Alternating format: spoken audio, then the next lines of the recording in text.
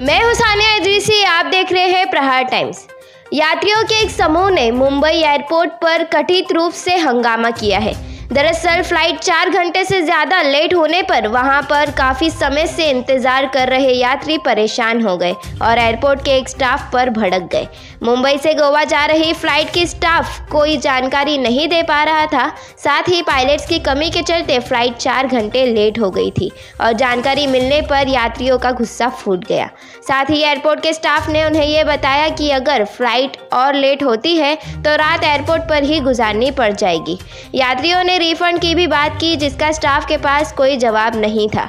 देखिए किस तरह से मुंबई एयरपोर्ट पर जमकर हंगामा किया गया। अभी भी तू मेरे को आज गारंटी बता हाफ़ एन क्या तो बोले तू? Can you tell me some confirmation एक आंसर तूने पाँच बजे से सही नहीं दिया। कॉल वही तो पूछा टाइम क्या बोला? हाफ़ एन आवर लगेगा। उसके बाद जाएँगे भाई मैं क्या बोल रहा हूँ? हमको तो घर जाने दे। है ना? उसका क्या प्रोसेस है? तेरे को मालूम है? क्या है?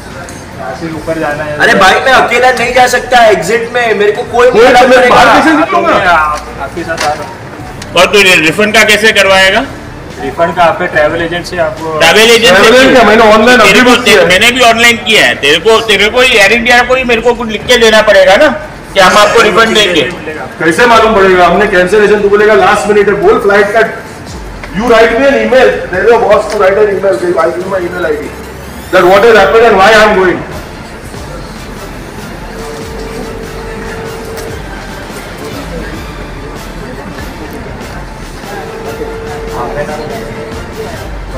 बोला है.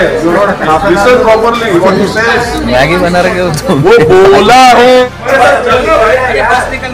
बस अरे उसको अभी वो सांता क्रूज बस डेपो जाके वापस आने वाली है।